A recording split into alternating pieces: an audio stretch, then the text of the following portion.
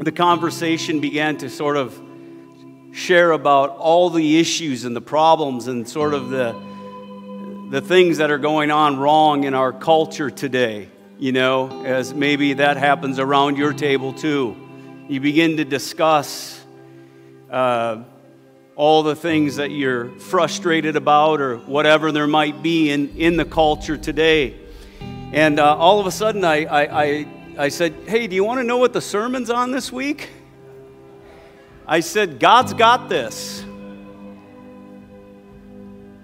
And then one, uh, Mike actually said, Mike goes, uh, Yeah, I imagine it depends on what frequency you're listening to.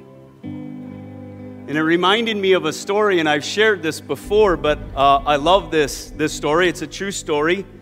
I think it was 1982 at the, uh, the Wisconsin Badger football team was not very good at that time. They've gotten a lot better over the years, but they weren't very good at that time. And their home crowd was, their home team was getting beat quite badly.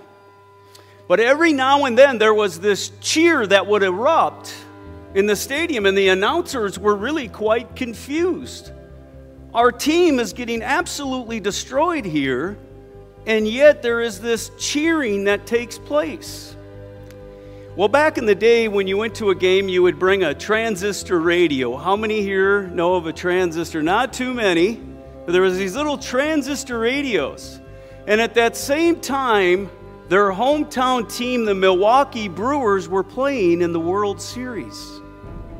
And they were listening on their transistor radios and they were scoring runs and they were winning the game. And so every now and then, they would be cheering in the stands of the Wisconsin home football game that wasn't going so well. So, what they were seeing out there wasn't translating in here because they were listening to a different frequency. And that's so true of us. And that's why every week we get up and we read out of the Word of God so that when we come to our small group, home group meetings, we don't get too down and negative about that. So I kind of change the atmosphere, if you will. And that's what it's about. God's got this.